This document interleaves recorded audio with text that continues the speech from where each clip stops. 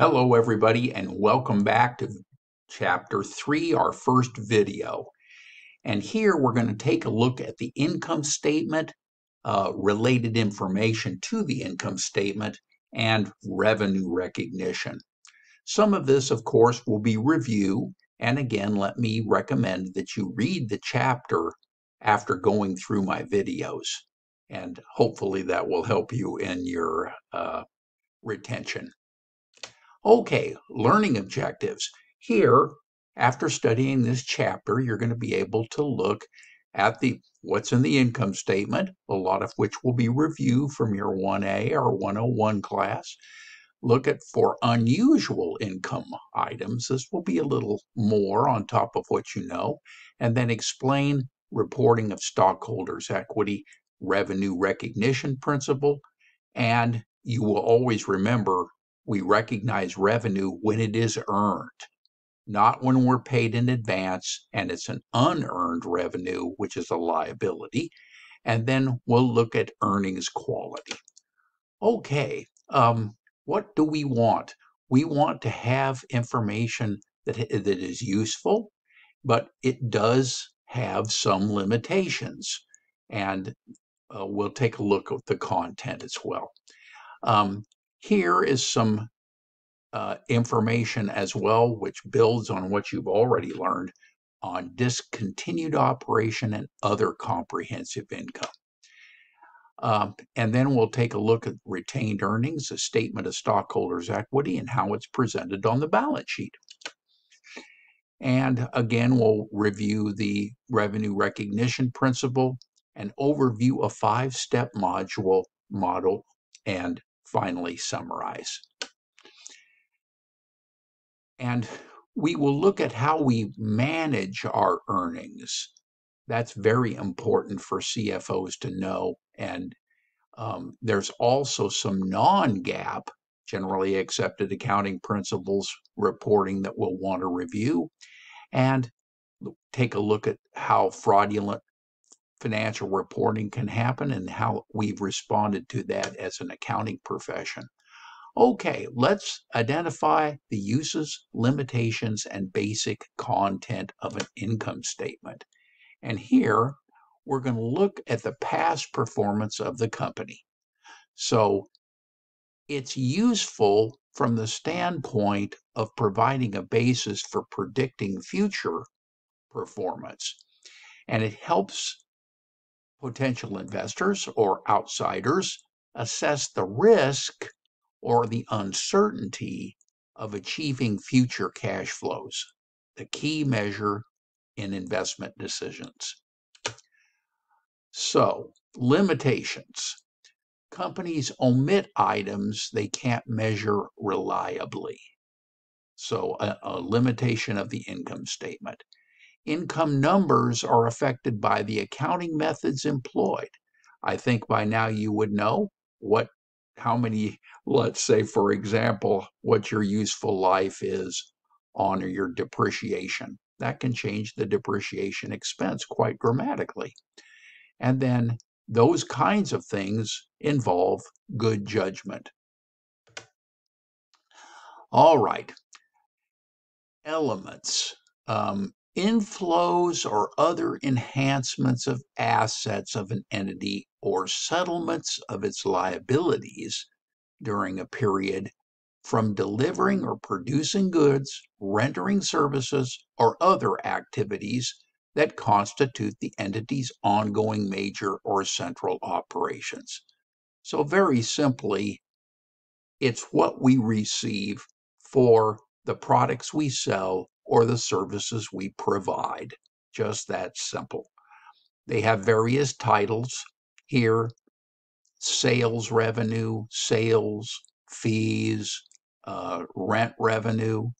Um, but we also have interest revenue and sometimes dividends that we have from outside companies where we receive dividends.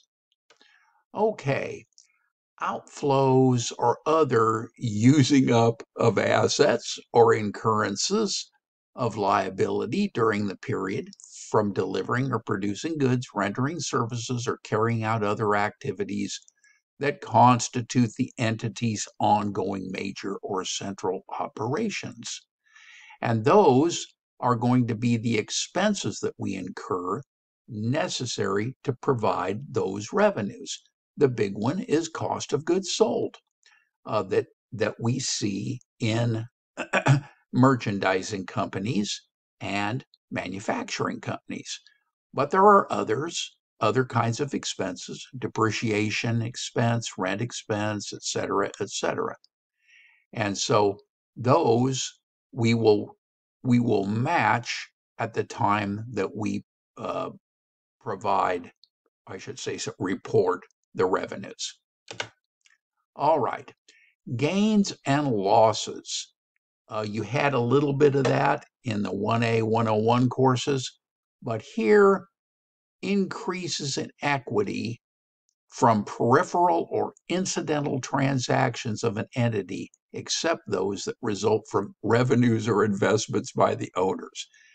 Um, that's sort of a long-winded academic spiel, but basically what these these accrue from are selling investments, plant assets, maybe settling liabilities, write-offs of assets due to impairments or casualties. Um, and we'll see, you'll remember if we sell off our plant asset and, for example, and we receive less money than our um, co- um, carrying cost of that asset, then we'll have a loss. Just that easy. Or if we sell it for more, we'll have a gain. All right, multiple step income statements. I always like those the best, to be honest. Uh, separates operating transactions from non operating transactions. So it's going to match our, our expense recognition principle. It's going to match costs and expenses with the revenues that it helped produce. So highlights certain intermediate components of income that analysts are going to use in assessing financial performance. Okay, here is that multi-step income statement. And you can see here that um, um, we have our sales. These This is going to be our gross sales here, as I call it, sales revenue and we subtract sales discounts and sales returns and allowances to get our net sales. And from net sales, we subtract our cost of goods sold, and that gives us our gross profit. Then we have our operating expenses. We usually break them down, as is done here, between our selling expenses and our general and administrative expenses. Selling expenses could in, could include commissions, sales salaries, that kind of thing. General and administrative would be the beautiful accounting staff, uh, HR, uh, IT, those kinds of things. And so we subtract those from gross profit to get in from to arrive at income from operations. But sometimes we have other revenues and gains. Here we had some dividend revenue that we got from another company. Not this isn't our dividends where we have cash dividends that we pay our investors. This is where we've invested in another company and received dividends. And then here is a gain on the sale of some some equipment that we had. So now those are going to be our other revenues and gains, but we also have some other expenses and losses. And we had some interest on bonds and notes. We had a loss on a flood, not good. And those total $126,060. So that comes down to our income before tax. We subtract our tax, and that is our net income for the year. Net income or profit after tax is just what it sounds like after tax. And then we always show GAAP requires that we show earnings on common shares of stock. So we had a, thou- hundred thousand outstanding shares, and we divide that into the net income for the year. Okay, very nice. So our selling expenses, they've tabulated here. You can see we have a lot of selling expenses. And for G&A, we have other general and administrative expenses. You can get a little familiar with that on your own. And it totals, just as it's shown here, our um, selling expenses and G&A expenses, 803,799. And that's where it is on the income statement. All right. Um, here, we're going to take a look at Cabrera's net sales, and it highlights the regular and hopefully recurring revenue of the company. The gross profit deducts the cost of goods sold from the net sales to determine the gross profit. So that cost of goods sold, you'll remember from your 102 or your 1B course, is con- consists of uh, direct material, direct labor, and overhead that goes into the cost of the finished good or merchandise that we we uh, purchase directly from manufacturers. Okay, so our operating expenses, I think I went through that. Um, and general and administrative, I went through that. And then income from operations, and that shows you what we've earned from our core operations.